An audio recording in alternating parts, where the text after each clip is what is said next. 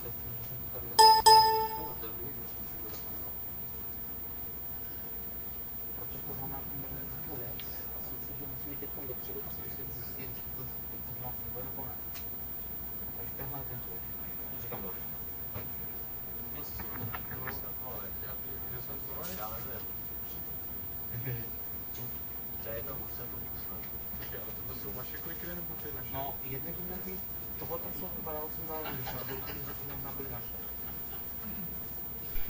Rozumiem, to jeden poznałam. Zadaję właśnie. Ale to jeszcze...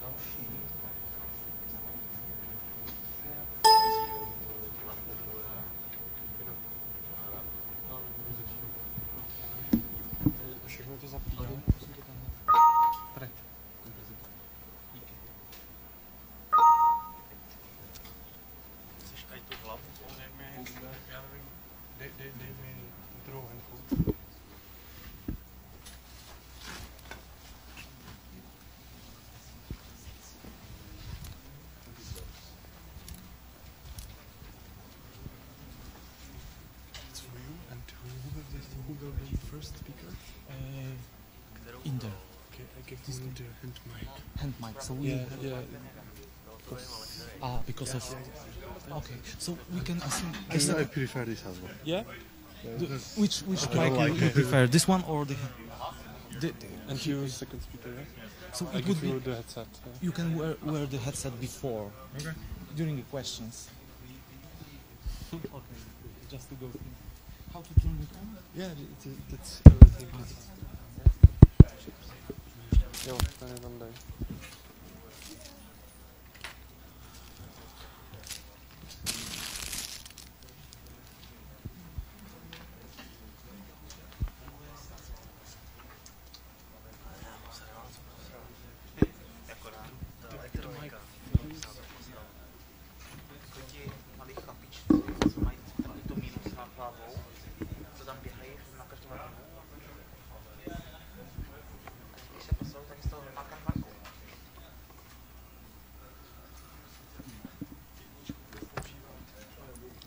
Okay, I, I think it's time to start. I hope you enjoyed dinner. Uh, my name is Bartosz Belter. I'm from Poznan Supercomputing and Networking Center, uh, the operator of the Polish NREN. Uh, welcome all of you to the session dedicated to the discussion on dynamic network services. It's somehow a continuation of, of the session we had just before lunch in, in this room. Um, and I believe the, the continuation is that we, we have some links between the two sessions. Uh, before we start with the technical uh, discussions, I would like to refer to the first uh, plenary session we had today. We had a, the, the talk from CTO of Juniper. Uh, he explained the architectural principles for building new uh, network architectures. And the third principle for, for that was it said, says automate everything you can automate in your, ne your network. I believe that with this session we, we will be able to address this paradigm. We have three speakers today. The first speaker, Inder Monga, he's a senior uh, researcher. He's leading the research uh, activities in ESNet. He's co-chair of NSI working group, and he will be presenting the results of, of this group, the, of work of, in this group. The second speaker, Jeroen van der Ham, he's a researcher at the University of Amsterdam. Uh, he's active also at OGF. He's contributing to the NML working group. He will, present, he will be presenting challenges in uh, topology exchange. And the final, uh, the last uh, presenter is Reza Nejabati. He's a senior researcher at the University of Essex. He's uh, coordinating the research activities in high performance networking group. Uh, he's also leader of virtualization task in GÉANT, and he will present the virtualization service for GÉANT and NREN community. So now, uh, Inder, the mic is yours. Thank you. I think uh, they want me to use the hand mic, so it's fine. This is yours. Okay, great. Thank you. Hello.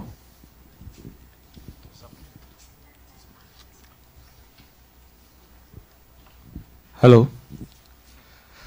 So I'm going to give a talk on uh, network services interface and uh, going to focus more on what are the concepts, motivation rather than go into the details. The details can be got from the specifications and, and the multiple discussions that have happened within the OGF. Um, I list my co-chairs, but uh, there have a lot of people in the R&E community who have participated in developing the concepts, and some of them are here. So uh, this work is is actually community work. It's uh, not an individual individual work that I'm presenting. So the first I'm going to talk about is abstraction. So the whole thing about services and the service interface, the important thing to know is that this is about abstraction, about presenting a complex infrastructure in a simple mechanism so people can uh, make make part, it part of their you know their architecture, their applications. And uh, you know if if you, if you have a lot of complexity, uh, as as the cartoon says, uh, it's it's bound to fail. So it doesn't mean that you cannot deal with complexity. It's how to take the complexity and abstract it into a simple set of objects that you can work with. So I take an example. The Unix socket interface actually was the most successful data plane abstraction, and that is what has caused you know the proliferation of TCP/IP. Why everybody uses TCP/IP is one of the big causes is this socket, uh, and this socket interface actually. Uh, from an application perspective, a client and the service server process when they want to communicate on a computer, uh, I don't know how many people have done socket programming, so they may not remember this. Uh, um, this, you know, all you do is you create a socket by saying, you know, uh, what kind of uh, access AF, AF INET, which is internet, and you can uh, choose a type and a protocol. And if it is type is SOC stream, you know, the protocol is assumed to be TCP uh, by default. So it's very simple for a client process for an application to create a socket, and it gives back uh, something which is like a file descriptor. So you read uh, or write into that descriptor. So it's very simple for the application to use it. And what this does is it hides all this complexity.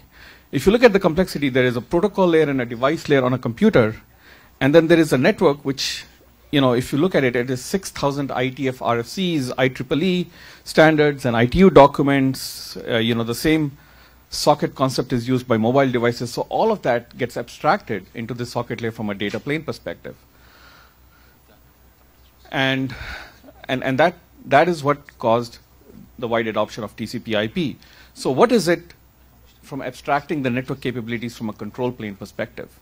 So, for example, if your desired network service is an end-to-end multi-domain, and, and I put dynamic in brackets, a multi-domain circuit with guarantees. Now, you can have bandwidth guarantees or you can have connectivity guarantees, and we heard the speakers before that bandwidth on demand is not necessarily uh, the thing. We need to move on to topology on demand. So, if the desired network service is what is required from a control plane, and you want to connect multiple networks together, multi-domains with uh, uh, multiple policies, what is the right abstraction to set up this circuit for an application? And what is the right abstraction to view this multi-domain topology? And that is some of the challenges which the network services group started to address and start, started to tackle. I'm going to talk about the right abstractions to set the circuit for an application, and my following speaker, Jeroen, will talk about topology. So the basis of network service architecture was the service concept. You know, and service concept means there is a requester asking for a service from a provider. So whether it's a connection service to set up a connection, a monitoring service to monitor an existing uh, connection, a measurement service to do measurements on your infrastructure and expose that information. The prime motivation between the architecture was a service. Again, there was a per user domain interface. So a user or a requester could ask, make a service request of the networks. So how the network actually satisfied the service request was not something that the user or the domain needed to do. So it simplified, you know, whether that service provider was going to talk to 15 other networks or 200 resources or use MPLS or whatever to provide that service is not something that the service requester really needs to know. And that abstraction into a simple to understand service request, which again, I'm putting it in English, uh, but it is it will be in XML. You know, I want guaranteed 10 gigabits per second Ethernet connection from point A to point Z between 10 a.m. to 12 p.m. Now, you don't have to give a schedule. You can ask it for all time. Uh, you know, you don't have to ask for 10 gigabits per second. You can just ask for a VLAN. So there are a lot of flexibilities there, but it is a simple request. Now, if you look at the cloud world, they have also gone the same way. You know, with Amazon EC2, you're essentially saying, give me five servers for two days and I want to run my computation and then I give it up. So what you see is that if you want to build the cloud storage and compute world together with the network world, this is the kind of interface the network needs to build in order to bring it together. So the vision is much larger than just multi-domain bandwidth on demand, which has been demonstrated to the community. It is to build resources together and to be able to simultaneously, uh, you know, uh, provision and, and co-schedule resources. So let's talk about the concept of a service plane. So there is a concept of a transport plane which contains all data planes, so multi-layer capable. It doesn't talk at a single layer, layer 1, layer 2, or layer 3 and a service plane where there is a requester with an NSI interface and a provider. The control plane and the management plane are all abstracted and represented within the service plane, so you don't have to deal with them directly. And the network, if, uh, if you look at it on the right hand side, is modeled as a set of endpoints, which are external endpoints, and a transfer function. And what that means is that there is connectivity between the points. It talks about bandwidth available between the points, and that's represented as a transfer function, not how it was implemented and what technology is it is used to implement. So let me talk a little bit about how this really works conceptually. So there is conversation between a service requester and a service provider over this network services interface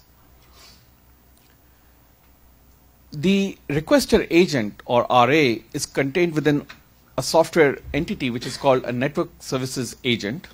So there is a requester agent and a provider agent.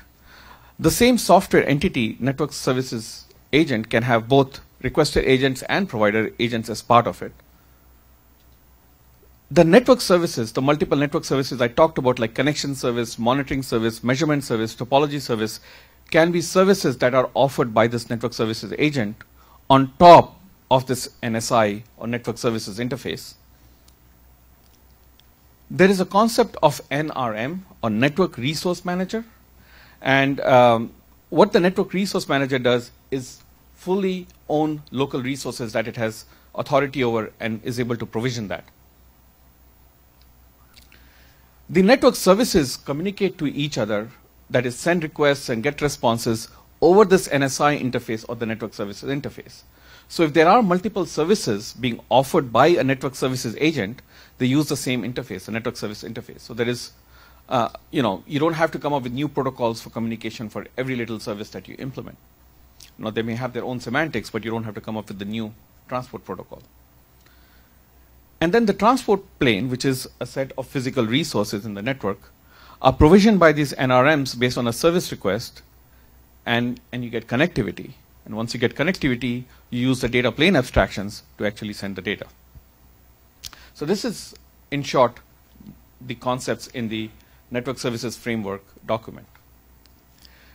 So if I cull, there's a lot of concepts which are similar to what people have done. There are three important concepts, I think, which I wanted to explain further, which are kind of three pillars of, of, the, of this new standard. One is there is a recursive framework, there is an abstraction of topology, and, and, and a model where multiple services can be composed. So I'll talk about that a little bit more. So what is a recursive framework? The, the recursive framework actually says that you have a concept of a service requester and a provider, but that can recurse over a lot of different domains.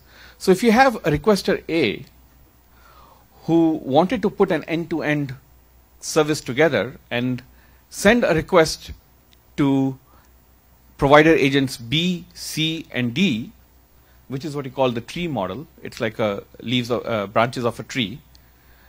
B, C, and D in turn can talk to networks E, F, and G, or H, I, and J, and I can in turn talk to K, L, and M to put this end-to-end service together. But the ultimate requester A doesn't need to be aware of that uh, complexity.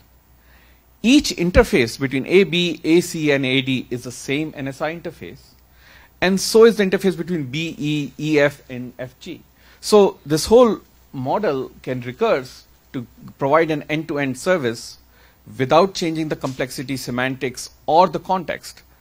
You're aware that in, in some of the work which has gone in the internet before, you have the concept of UNI, ENI, INNI, depending on the context. And they actually change the protocols depending on what the context is.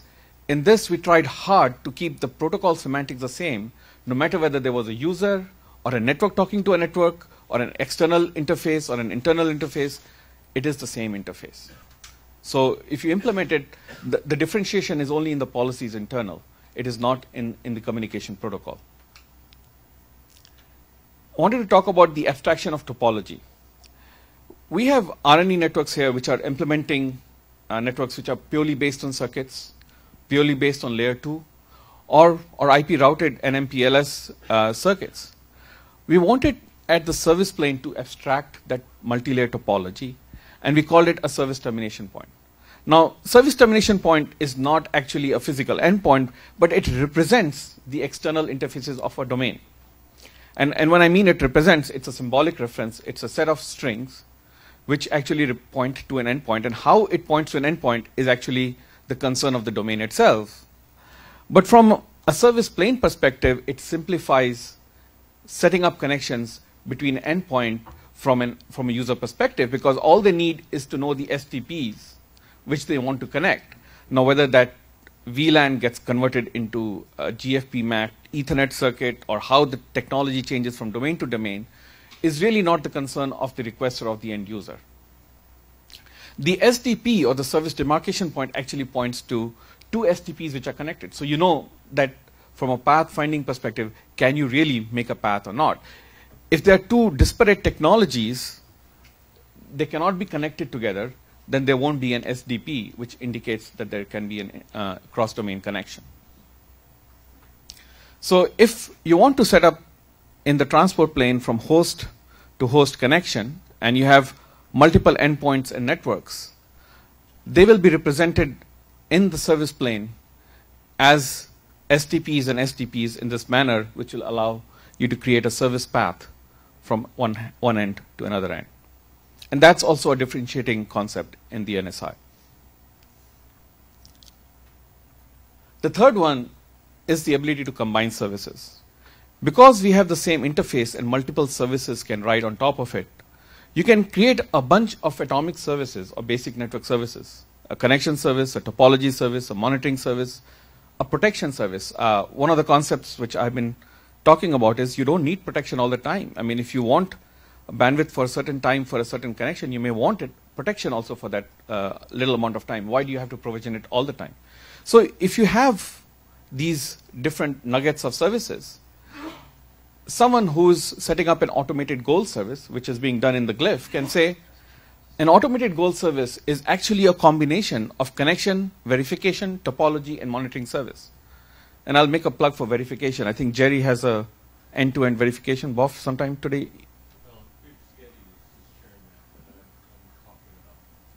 Yeah. So you can create, if you created a verification service, you could combine that and call it, that's the service I want.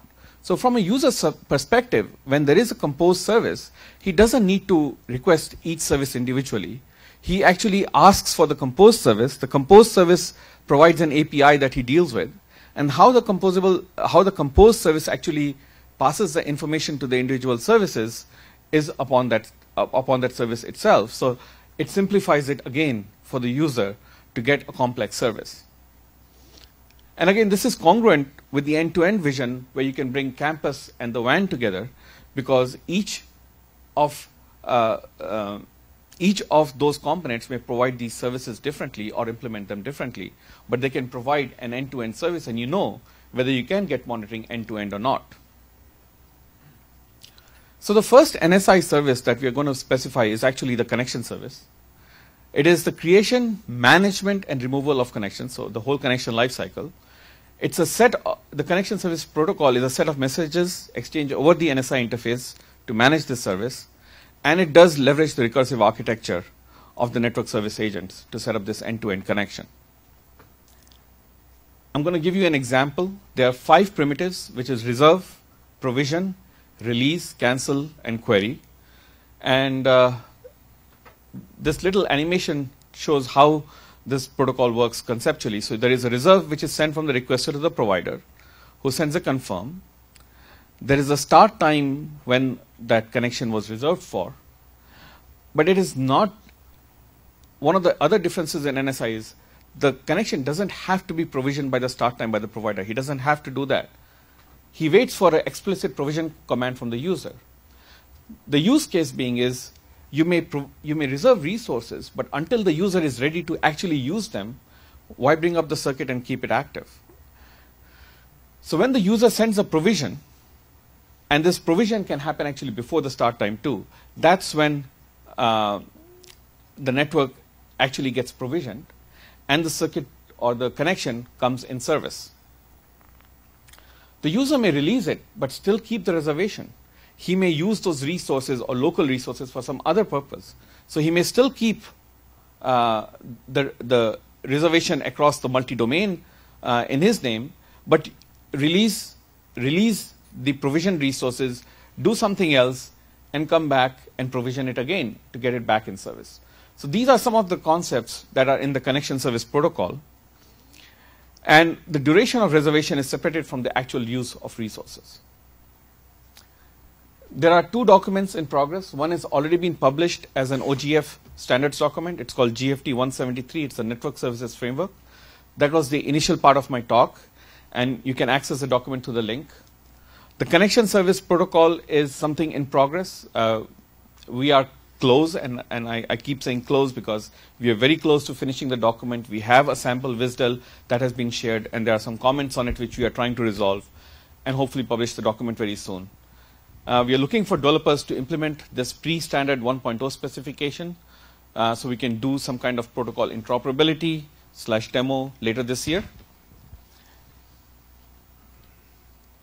And, and I would really, really want to extend my thanks to the hardworking NSI contributors. It's a very active group with worldwide contributors from Japan, from US, from Europe. Um, there is a conference call every week for one and a half hours that everybody hops on and participates. There are lots of offline discussions, both Skype and face to face. And there are interim face to face meetings that are scheduled on top of uh, OGF meetings. So, this is something which not just me as a co chair, but the entire community feels important and they're contributing a lot of time to it. And we welcome more participation to make, it, make sure that it meets all the requirements of the community. I wanted to put this slide up. Why does NSI matter? I think I talked about the protocol. I, I need to talk uh, about why it matters. Bill talked about the IDC protocol, and there was some questions in the previous thing. So the DICE IDCP protocol is implemented by a few major networks in US and Europe, and it is interoperable, but not all. It has demonstrated unequivocally the power when this capability is operationalized. The LHC traffic is running uh, on this capability right now. And it clearly shows that if you have interoperability between such setup, it can be really powerful. There is a paper in IEEE Communications magazine on hybrid networks, lesson learned and future challenges, which talk about how we want to move forward. And I think NSI's protocol is a step forward in this direction. The service plane concepts and the NSI architecture actually transcend the underlying infrastructure and capability changes. You know, people are going to be implementing new networks all the time, and you know they change from their optical gear to a layer 2 gear to a carrier Ethernet gear to MPLS. You change the underlying topology. You don't want to change the service model for your users every time you change the underlying topology. So this abstraction really helps you take new technological advances and put it in your network without worrying about how the users are going to uh, deal with that. And the right abstractions should lead to multiple constituent services and adoption by R&E applications. So what we really want to go is to standardize the service layer so new applications can be built which are right for the R&E community. It's not an easy challenge. It's easy to say it in words right here. But this can be the basis of an R&E programmable platform, and that's what we feel. So as a summary, Service plane is an abstraction of multi-layer, multi-domain network capabilities for users, applications, and network administrators. The network services interface is the basic interface between a requester agent and a provider agent to request and get network services. Composable services is an ability to create a higher layer customized service with these multiple network services that ride over the NSI layer.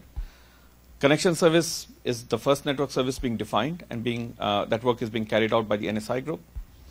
We feel topology service is very important, and that's a candidate for the next NSI service. And hopefully, the next speaker after me will uh, add, add his thoughts on that as well. Thank you.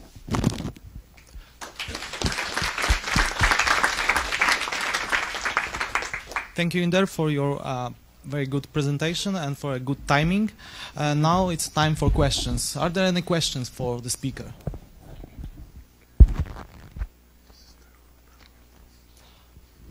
Thank you very much. Okay, I have a question to you. Uh, okay. I, I just made a note. You mentioned the clouds uh, at the beginning of your talk as a potential client of the interface. Uh, I'm wondering how flexible the interface is in terms of adding new attributes, uh, parameters in the request. An example by putting more cloud-oriented parameters inside the request. Are you dealing only with the network part or plan to extend it? So the way I see it is that the cloud when you make a request, you assume there is a WAN infrastructure in place which will get you to the data center. The request you make is actually to configure the data center resources. We feel that this is, can be done along with it, so I don't need to make it a cloud specific interface, but it is in terms of a co-scheduling. I co-scheduling my WAN with my data center resources because in the end, I'm sitting on a campus and I need to get to the data center. People forget that a lot of times. And when you forget that, when you see bad performance or things don't work, you may blame the cloud provider, but it could be your network in between. So really, in order to provide a guaranteed end-to-end service, you need to include both of these requests, but they have been made at the right level of abstraction, so you can do that without having to think differently. It's web services like interface. Okay, thank you very much. There is a question.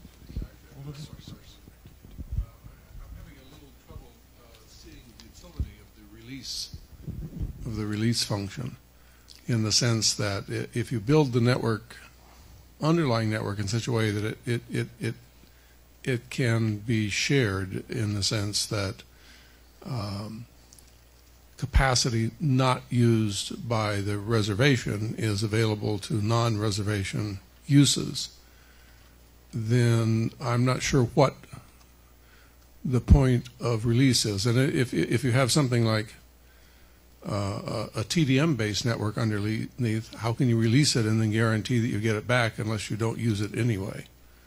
So I- I'm having a little trouble figuring out where where this is a useful uh, construct. The reason that release and provision were included was more from an end site perspective where they could have multiple applications riding over the link between the campus and the WAN. That is where um, there was a thing about time sharing those those resources and where you may want to release capacity even though it is TDM. Your reservation mechanism needs to obviously deal with it that you can get your uh, resources back. Um, Which means you, which means you can't allocate it to another circuit. I, I, the, part of the discussion was that there would be times when you would, there would be times, uh, where you would want to release the circuit so that it was formally not in service anymore, but you don't want to release the, the reservation that was reserving the, the capacity. This could be, you know, maybe you detected an error and you wanted the operators to look at it, or the engineers to, to do some testing. So you don't, yeah, I mean, it, it, it the the use we, case. we, we kind of tortured ourselves on that thing question. I mean, so, yeah, so the use reasonable- case is, uh, Bill, is that we're talking of a multi-domain reservation. Jerry just put forward, that, that's, that's a good use case. I hadn't thought of that. Yeah, Yeah. It, it's just just a matter of you know you provision it and and you may have to take it out of service for some reason. We didn't really have. Uh, we we kind of came up with some reasons that yeah we might have to fix Maintenance was one Yeah. circuit by internet to uh, level three going down because something. Yeah, something. so yeah, you, you don't want to destroy somebody's reservation that they've had for a year just because all of a sudden you have to take it down to fix something. Right. Okay, I propose to continue the discussion offline, and now we have the next speaker, Jeroen. Thank you. So I have a, a presentation on challenges in topology exchange in uh, for emerging network services. Um, as Inder mentioned, topology exchange is, a, is an important service. Um, I'd like to mention to point out that the, um, the this particular talk and the extended abstract was carried by uh, five different institutions, and four of the different authors are here right now. So. Um, we think this is a very important concept that we have to discuss. And I also have a slightly a mixed message. On the one hand, I want to push people to to do topology exchange, and on the other hand, I want to explain why topology exchange is hard and why we aren't done yet. Um, so first of all, we have a lot of network resources, and we like to uh, different um, uh, networks like to show visually what kind of resources we have. This is important to to explain what we do, um, what is available, um, and and uh, how it can be used. So uh, these kinds of diagrams are important, and in a way they also help engineers understand how the network fits together. Um, unfortunately, diagrams are very hard to understand for a computer, so that doesn't help us much. Um, traditionally, many years ago, network provisioning was you had uh, a network and you had an end user who understood how the network fit together and asked for a specific path through the network to the endpoint. And then he used phone and email to contact the network operator, and the network operator would use um, his own knowledge based on the diagrams that he found on the internet and uh, contacts that he had with other other networks um, to contact them using phone and email um, to set up their networks. Um, we want to move to a, a situation where we can just have an end user say, I want to go there, and um, remove the, the, the phone and email and just make it an automated system that we uh, um, that people can use to provision their network services. However, we will need to have a, a representation of the network so that the systems can understand, can figure out where that other endpoint is. So, um, we need network descriptions to provide an overview of resources, um, to make path discovery easier. Um, uh, the the interdomain systems will have to have some knowledge of other uh, uh, networks in order to know where to go. Um, we can we can do path discovery without topology exchange, but it's going to be a hell of a lot easier if you have some kind of topology representation. Um, and also, it makes for very simple. Um, it topology representation allows you to do very simple problem detection, because then you can have a um, um, you have a system that knows what the uh, um, what the what the um, what the path looks like through the network in relation to the whole network, and then uh, it makes it also easier for the engineers to communicate to each other so that they know exactly which point that you're looking at um, and that they're talking about the same thing. Um, and to to add to this that we that topology exchange is also important is that we've had a very successful demo um, which is called the automated GOLE. It was referenced before, I think. Um, we've had several different institutions ranging from Amsterdam all the way through to um, Chicago, the, US, the rest of the US, uh, I think it's New York, all the way to Tokyo. Um, and we were able to do automatic provisioning um, through the uh, pre-NSI interface um, so that we could get connections, circuits up between all kinds of different institutions um, using this automatic process. Um, and this spanned 13 different time zones. And all we had to show for it was this. We had a matrix which was showing green lights in, in certain spots. Um, and um, yes, green lights. We had green lights to show in certain spots, and um, with just a little bit more effort, we had tools available to make these kinds of visualizations where we have a, a, a Google map. Um, where we have a Google map or uh, Google Earth visualization that was made by the uh, people from KDDI. Um, or even just a simple Google Earth visualization which shows which kind of connections. These are uh, this also shows the delays um, and uh, the colors show some of the status of the different links. But these kind of visualizations can only be built if we have uh, representations of topologies. Now, um, to do topology exchange, there are different kinds of method methodologies to um, to distribute them. We can do a direct commu communication between different domains. Um, uh, so um, what I mean by that is that each domain contacts each other domain to get topology. So you get a, a whole broadcast domain uh, that each of them is is uh, contact the other. Uh, another option is that you do peer-to-peer. -peer. so you you only contact your neighbors and uh, you um, uh, exchange the different topologies that you have available to yourself, so that you build to you build together a, a world a view of the whole world. Um, you could do a hierarchical tree like in uh, in OSPF, um, and another that's been uh, um, another method that's been proposed a lot is the path vector protocol, um, like that is used in uh, BGP.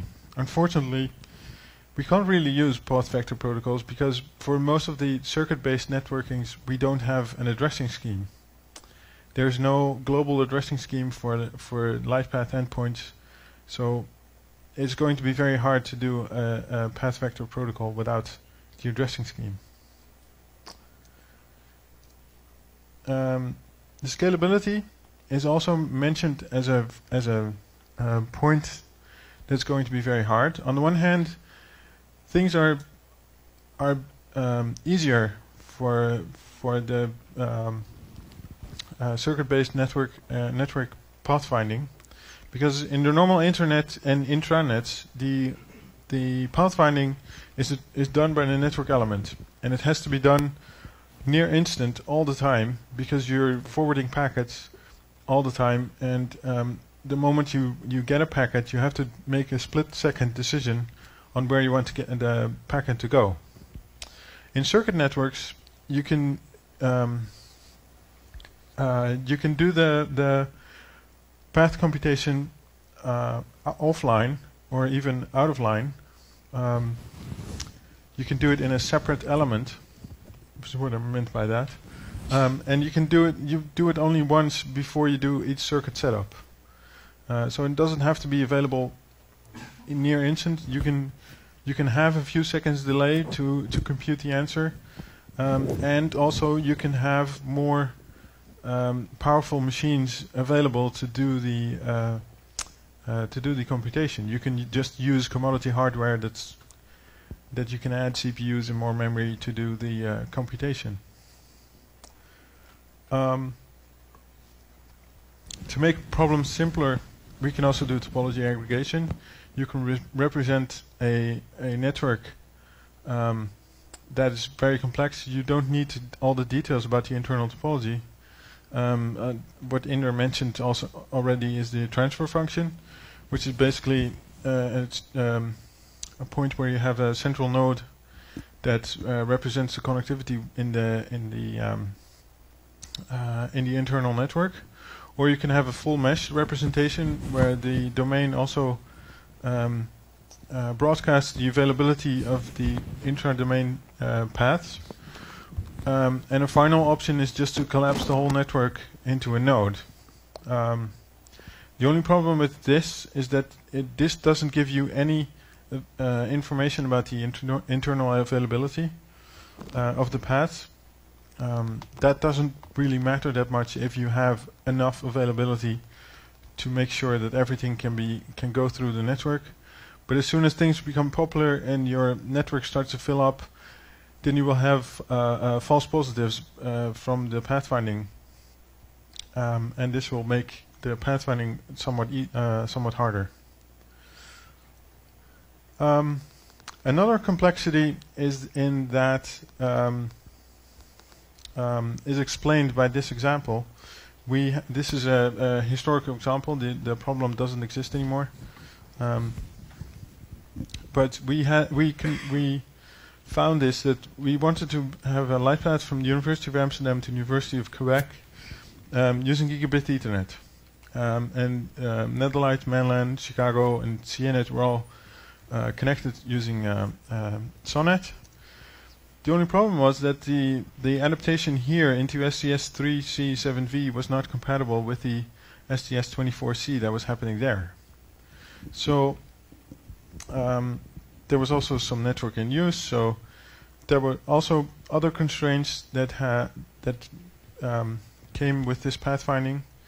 Um, so we want to go from Amsterdam to Quebec the pro so the different adaptations from uh, STS to STS here make this path impossible. You have to do um, uh, uh, a readaptation uh, and a translation between the two different STS methods. Um, and then the other problem is that this this link is almost full. We only have 22 slots free, and this adaptation that's done uh, that's converted here takes up 24 slots, while the other one just takes 21. And then the final solution is that you have you go from here and then you go up here, you traverse this link this way, and you translate into 24 and go back up, and then you end up in the University of Quebec. Um, so this shows that it's uh, that pathfinding can be very complex, and that it's not straightforward. We we can't just use simple Dijkstra's to solve these kinds of problems. Um, so we have multiple constraints. The constraints are in the path itself. Um, you can, like I showed in the example before, you can only use the link with the 22 slots if you're doing uh, if you have the the um, the 3C7V adap- adaptation. Um, so it the, how you can use the path it depends on what kind of adaptation you've been using. Um, and the solutions to this is either hope for the best and just do the calculation, or we have to do heuristic algorithms. Um, the point, however, is that if we start doing heuristic algorithms, we have to know some some of the properties of uh, um, multilayer networks. We have to know what kind of multilayer networks there are, what kind of adaptations are available, what are mostly used, and how networks look like. So we need those kind of uh, um, topology descriptions in order to figure out how to do pathfinding in those networks uh, and to prepare for the future. Some open issues in topology exchange is uh, security.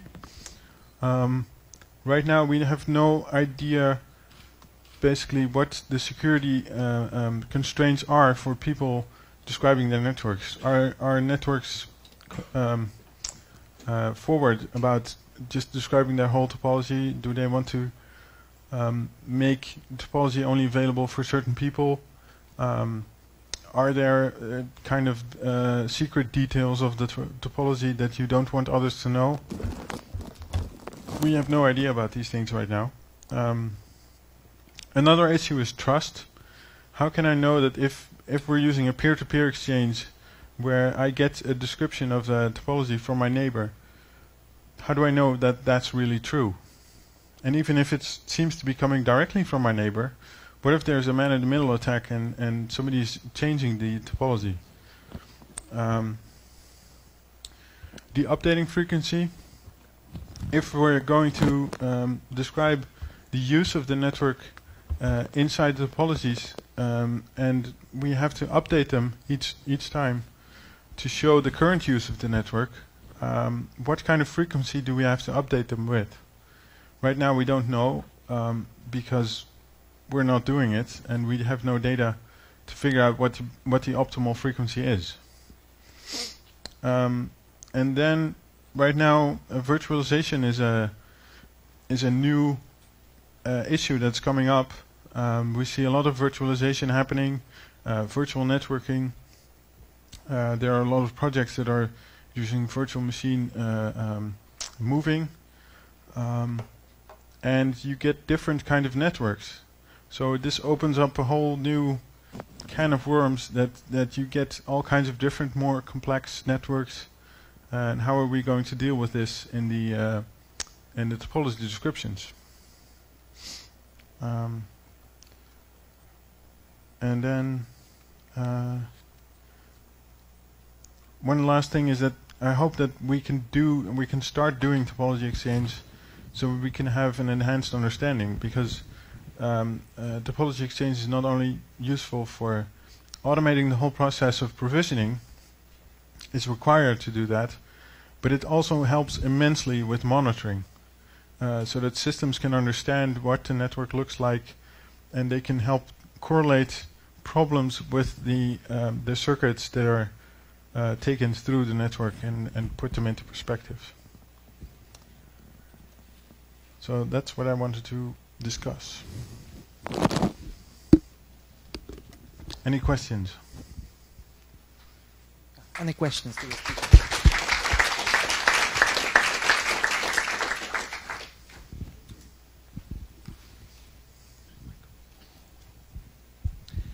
Uh, Dave Wilson, BGP Addict. Um, you mentioned there's no addressing system for circuits. Should we make one? Um,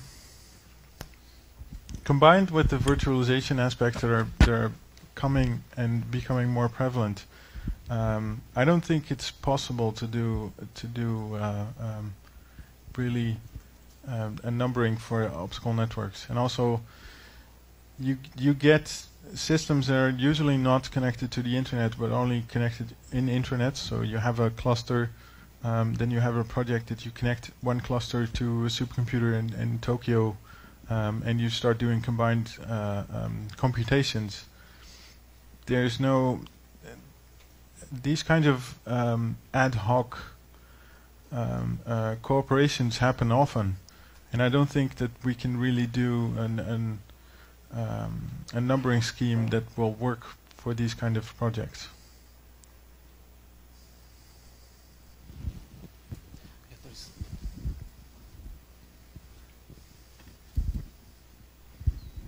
I am Jerry Sobieski. I'm one of the authors. Right. So I'm, I'm going to take a little bit different uh, position than Jeroen and say that I think I think there's a way we can do it. Right. This is part of the discussion that's going to ensue over the next several months or a year in some of the NSI topology discussions. Um, the way the way we're seeing some of this evolve right now is that there there's a there is a um, a very rudimentary hierarchical way of, of identifying networks and the potential endpoints in those networks. And in, in that manner, you can you, you can actually do something that's akin to numbering, but it's it's really still a, a symbolic you know labeling. You're you're you're basically building a, a hierarchy so you can you can do some um, um, summarization. So I can say anything that's in that network I know because he sent me his. You know, Right, right. network is over We're, there. we're, I mean, we're doing the, the identification scheme, uh, and we're building globally unique uh, identifiers. Yeah. Um, but in order to do path vector protocols, you have to be able to to aggregate different domains, saying uh, um, if you want to go this way, or if you want to go to that range of things, then you have to go that way. And uh, globally unique identifiers don't necessarily have that uh, have that property. Um, and you you do need that. Ah, Okay. Any other questions to the speaker? If not, thank you very much, Jeroen, for your presentation. And the, the next speaker, Reza Nejabati from University of Essex.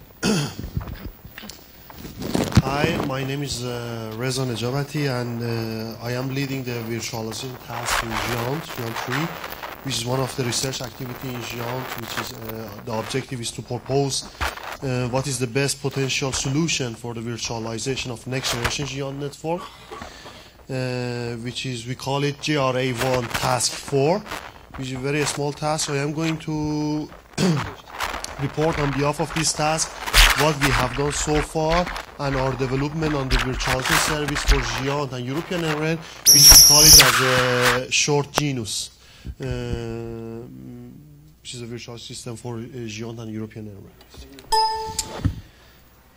Uh, what I'm going uh, in this presentation to explain is first uh, a little bit uh, look what does it mean infrastructure virtualization.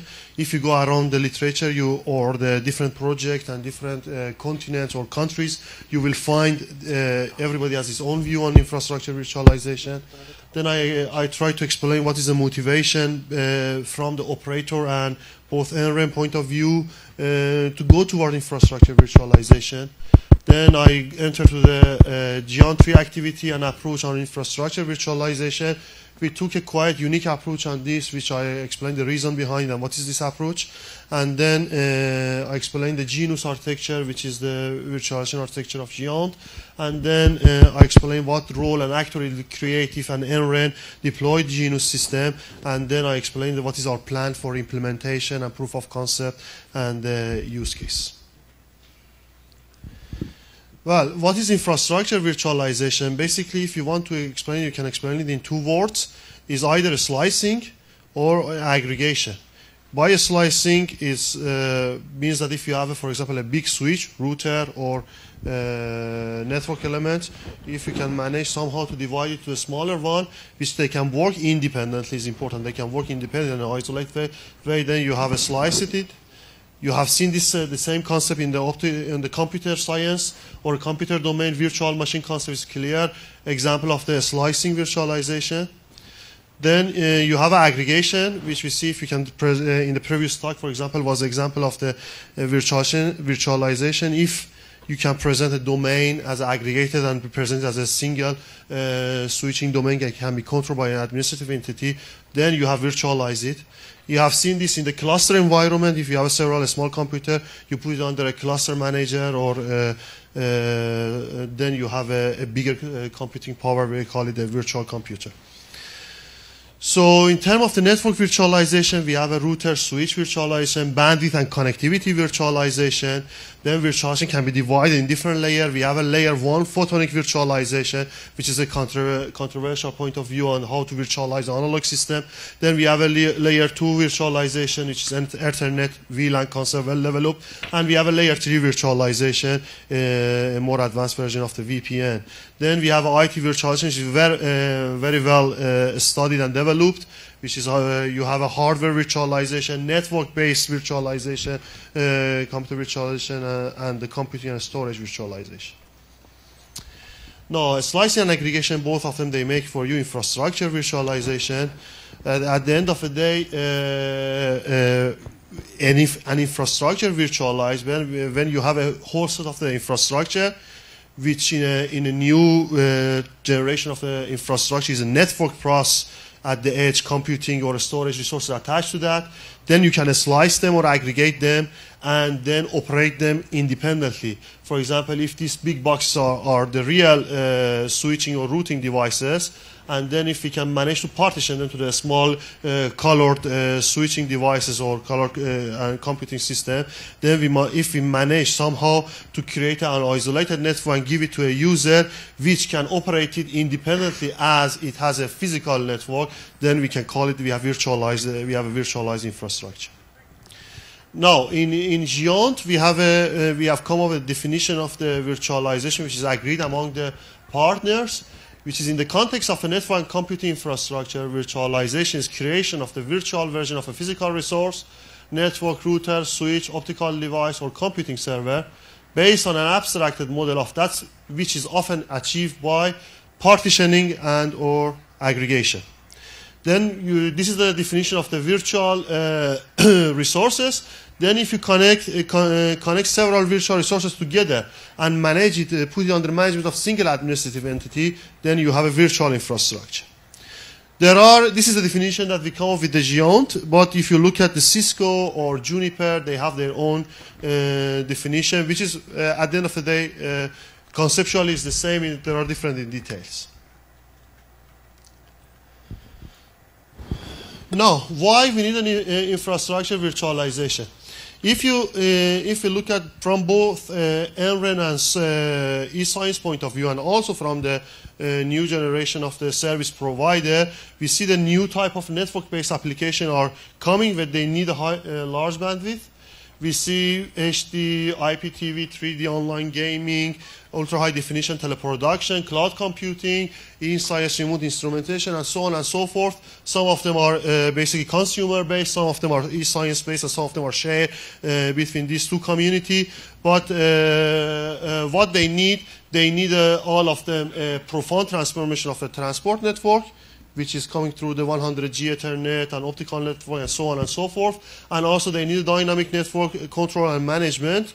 But uh, uh, one thing they share is uh, the change, the paradigm of the network, which is uh, from the mobility of the petabytes, which we currently see, they are going to see the uh, mobility of the exabyte of the data combined with the processing.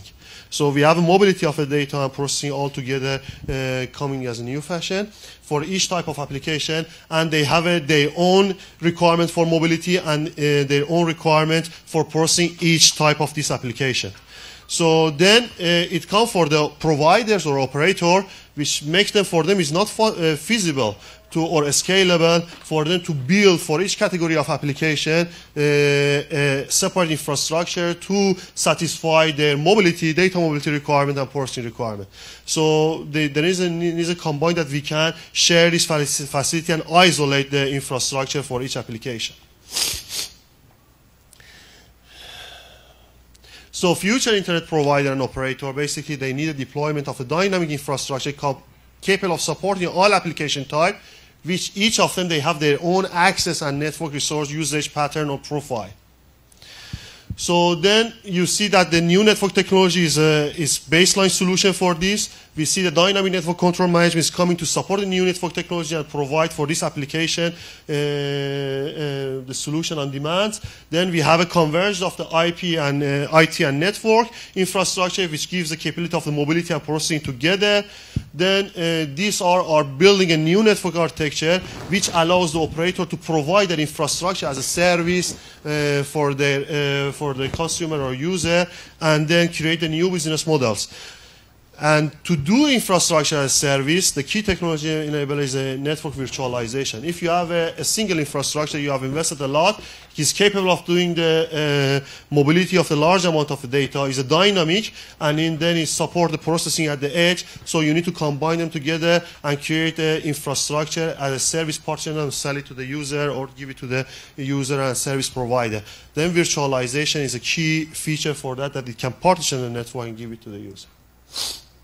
Now, going beyond the motivation, I a little bit focus what we have done in GÉANT 3.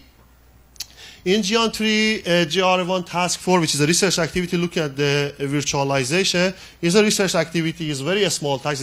In fact, it's the smallest task in GÉANT, and with a limited manpower. What the objective are is first to analyze the current available solutions suitable for NREN and GÉANT infrastructure virtualization and suggest how they can possibly use them the, we are we supposed to look at the virtualization of the network and IT resources. We look at the virtualization of node and transport surface virtualization and also computing resource virtualization.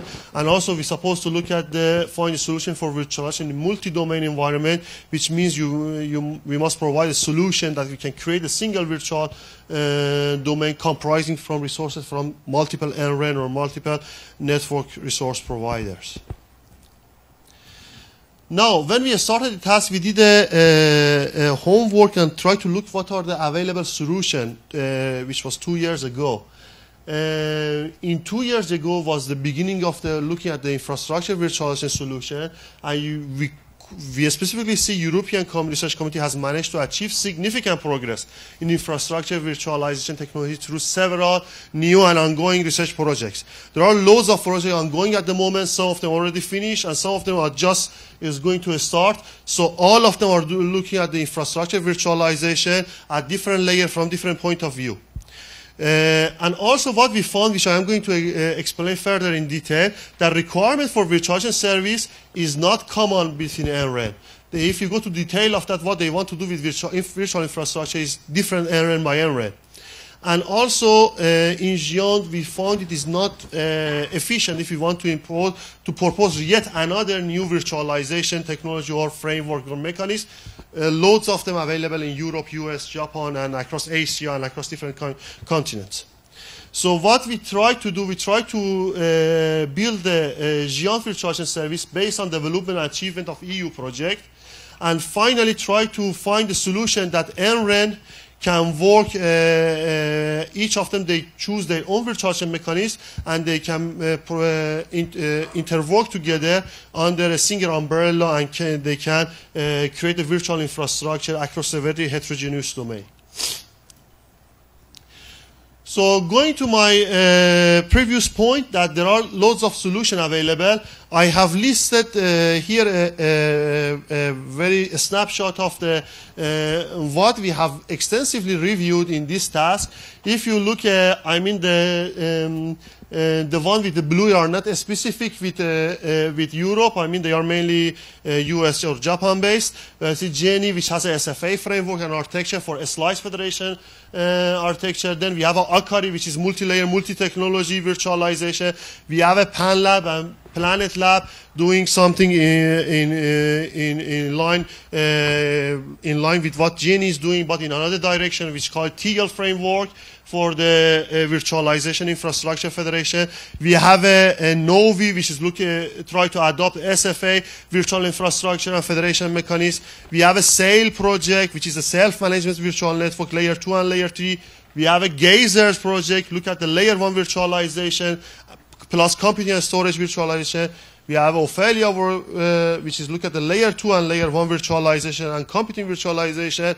Manticore, we saw uh, previously the presentation, is look at the layer 2 and layer 3 virtualization. We, had a, we have a Phosphorus, again, provide a solution to some extent for layer 1 virtualization. We have a FEDERICA, and so on and so forth.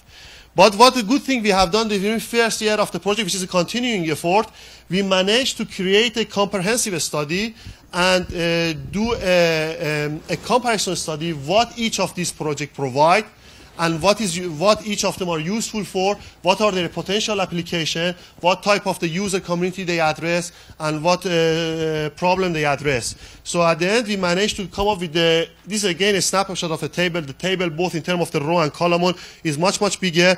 You, if you go to the, this public deliverable of this task, you will see a comprehensive comparison table of the all virtualization mechanisms, which is currently active in Europe and US and Japan, and this compare them, uh, what solution they provide, what protocol they use, and what is benefit and pros and cons of them, and uh, what is the application of them and use case of them. So this has been currently is an active document. We update it continuously, but uh, um, uh, and it has become a reference of the many new project and new uh, research activity across the community. Then what else we did? We tried to analyze the user requirements. Uh, we did the initial requirement analysis. We tried to ask for the use case from NRENs and also uh, network research educational, uh, educational research networks and providers, and also try to talk with them to see what is the priority for the virtualization. So uh, what was the common which is here? Uh, I am uh, is coming, the, the, main interest in the network virtualization, more or less, uh, we see that the, although the operators, the internet operators are shifting toward conversion of the IT and network, and RENA still are uh, struggling to bring the concept of cloud and computing and IT networking to, to the network provisioning. Most of them are interested still on the uh, network uh, virtualization. They see uh, server or computing virtualization something separate. The time scale is interesting. They expect all, uh, more or less all errand that we asked uh, to, uh, to some sort deploy some sort of infrastructure virtualization I explained here uh, by 2012 and then uh, what they also want to see, they want to have a virtualization in a multi-domain environment, not a single domain environment. And then also we want to have a capability to federate their virtual infrastructure with other virtual infrastructures. And they want to see in all sorts of the uh, layers from layer 2, layer 1, and layer 3 dif different uh, have a different interest. So according to this study that we did and the questionnaire we ran, the lesson that we learned was the current virtualization technologies resulting from existing project and framework are still in their research and development stage. You cannot find any framework uh, which is, you say, ma mature enough and you can recommend it that is the best. It is therefore not realistic to propose a specific virtualization technology solution to NREN or GÉANT. But what we can do, we can propose an integrated architectural approach that allows different virtualization technology deployed across NREN and GÉANT and then integrated together. So basically, we allow the NREN to choose the virtualization technology that they want based on the layer of the interest, and then they provide them solution to integrate it with the other virtualization mechanism. So then idea of the genus comes. The genus, genus is the architecture is a multi-layer, multi-domain, and multi-technology virtualization architecture suitable for NREN and GÉANT requirements.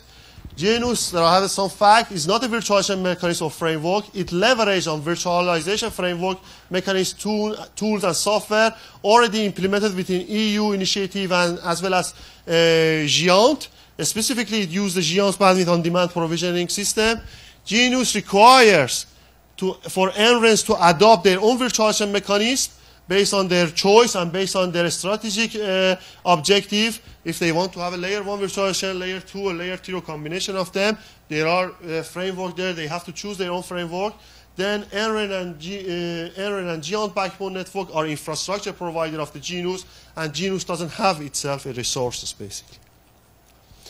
Now let's see how the genus works. Basically, what we assume if we have a, a, a one NREN at the, my left-hand side, another NREN at uh, uh, my right-hand side, uh, and then it's connected by GÉANT, of course. And we imagine that in the near future we will have an automatic bandwidth on demand provisioning on top of GÉANT, so we can connect them dy- uh, dynamically.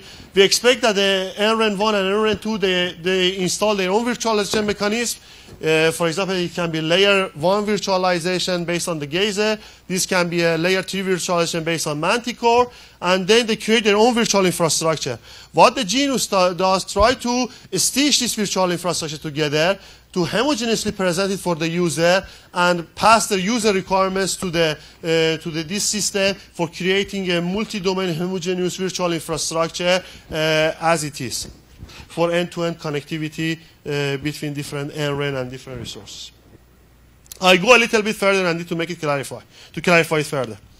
So basically, the, the big picture that we see, if we have an RNA, for example, if we also, is uh, based on L3 domain, we have a GÉANT which is in the middle, then we have an RNP-B which is L2 domain or L1 domain. All of them, they have their IT resources, and the IT resources, they want to create a virtual infrastructure to serve the users.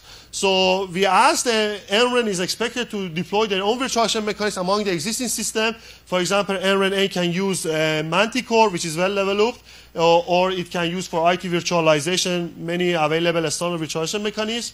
Then it can use uh, for layer two, it can use, for example, OpenFlow based OFELIA, and for IT virtualization, this one can use again OFELIA. And then GÉANT uh, is, uh, we imagine at some point will move toward Autobahn bandwidth provisioning. Then uh, you see that these all can create the, uh, their virtual infrastructure using their system, and then uh, uh, they, they can request connectivity using the Autobahn, and then uh, here also they can create their, their own virtual infrastructure. Then the Genus sit on top of it, try to stitch together and create a, basically a multiple isolated domain which combines the resources among this pool together and create based on the user requirements. Now, if you have a genus system, what is going to happen that you create, you move uh, from the current business model of the NREN and and uh, uh, and the GÉANT to a new business model, which be- because we have a different law, role here. One, we have a basically classical NREN, which is the resource provider. They own the infrastructure, they provide for a service. Uh, then we have a uh, somebody which has to own the virtual resources or virtual network, and uh, and then we have a uh, some entity which has to operate the virtual uh, virtual resource operator. This can be, of course, all of them single NREN or can be divided between different NREN. We have an NREN in Europe that they are looking to delegate the operation of the virtual uh, virtual infrastructure to another entity rather than themselves. So in the classical structure, we have a service consumer, infrastructure operator, infrastructure provider. With virtualization, you will have infrastructure provider, infra- virtual infrastructure provider, virtual infrastructure operator, and service consumer.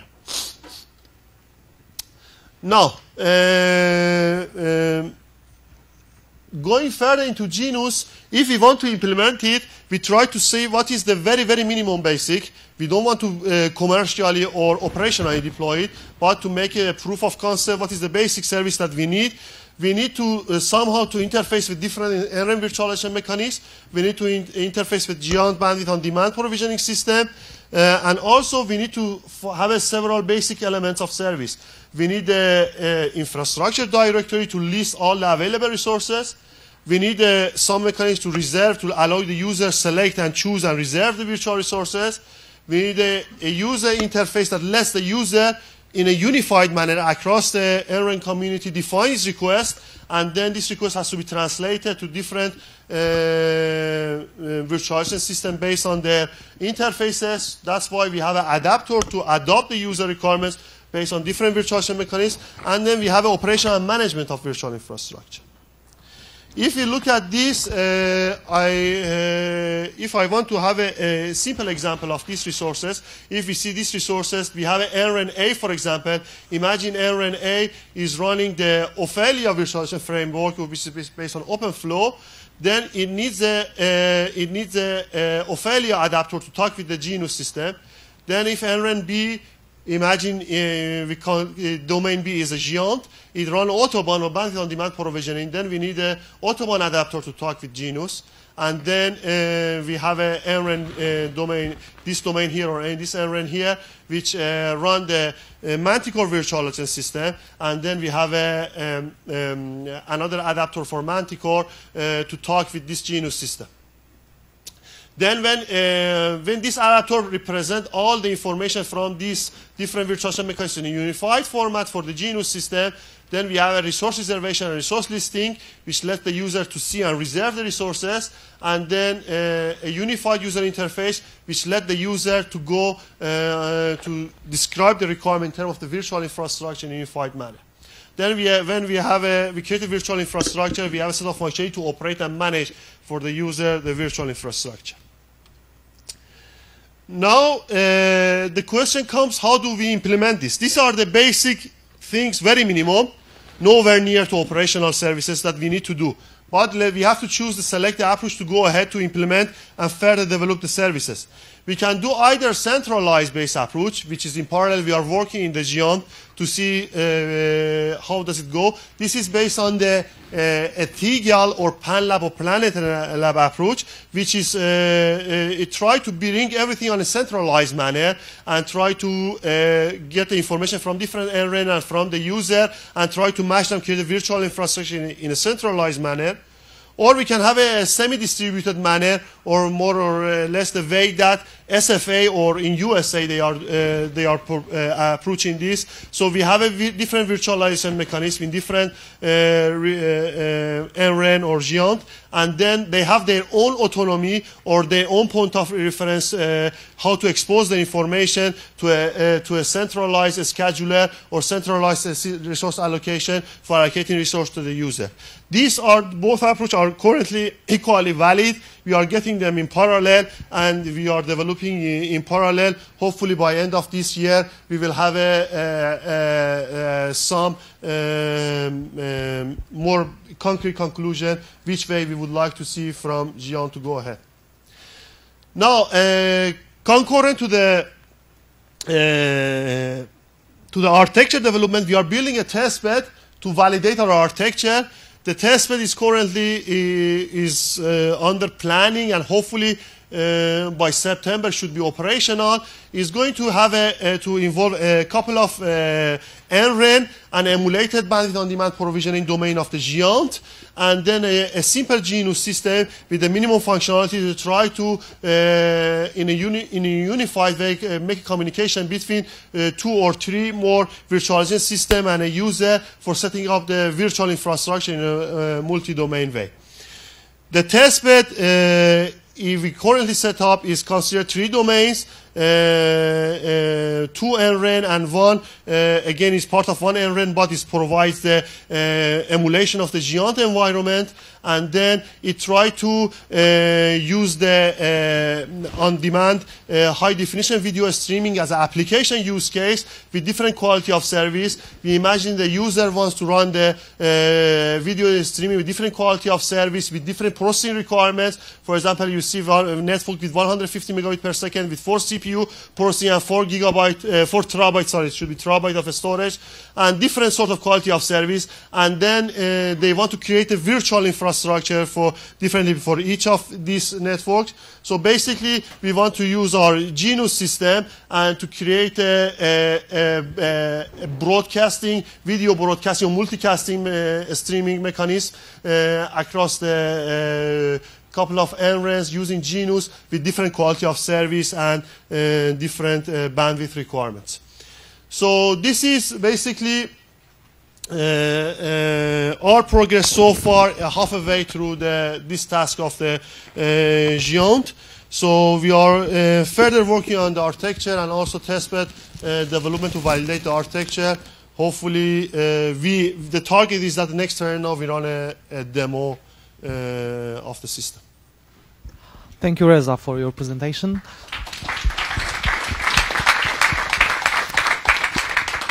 Are there any comments to the speaker?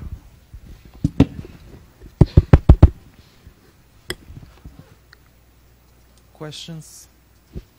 If no, I have a general comment to your presentation. Um, you mentioned that NRENs are not directly interested in the virtualization of uh, IT resources, so they are willing to implement virtualization for just for the network part.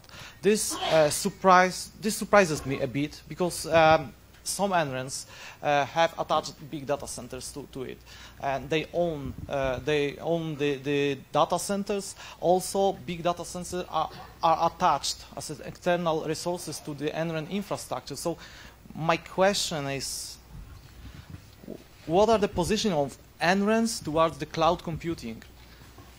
What uh, what is the what, what, it's not the question to you. It's rather. To, I can to comment on this because that was the question for us in the task as well. The problem is that the virtualization at the network level is very, very new, even for the NREN or outside of the NREN. But the uh, distributor federation and virtualization of computing resources is really old and well studied, especially in science community.